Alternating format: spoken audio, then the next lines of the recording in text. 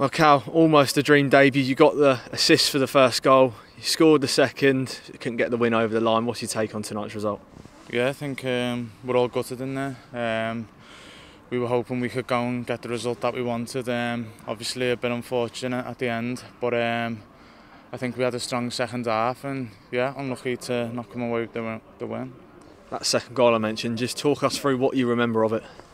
Yeah, just uh, getting on the turn, using my body in the box, and and putting it away. And yeah, such a such a nice feeling to to get my first goal, and hopefully just yeah more to come now.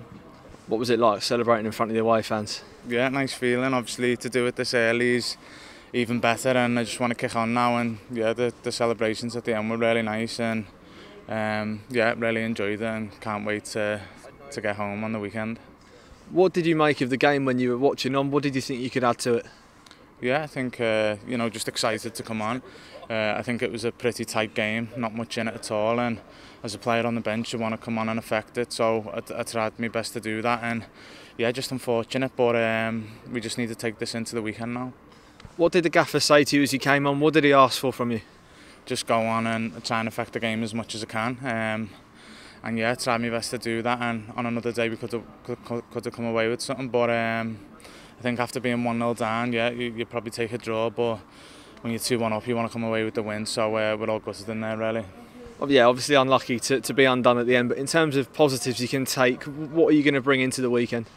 Yeah, just that, that energy in the, the second half, uh, the second half performance, I think we were much the better team. Um, got undone at the end when the game opens up a bit, which um, is obviously something we'll look at and work on. But yeah, just take the positives from the second half and this is a great point if we go and win on the weekend. So that, that's the plan.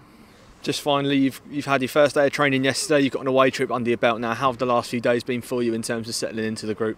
Yeah, really nice. The the staff and the team have been have been so welcoming and made it easy for me to to come and do my thing on the pitch. So I just want to carry that on, keep gelling with the team, and yeah, just excited for what what's to come.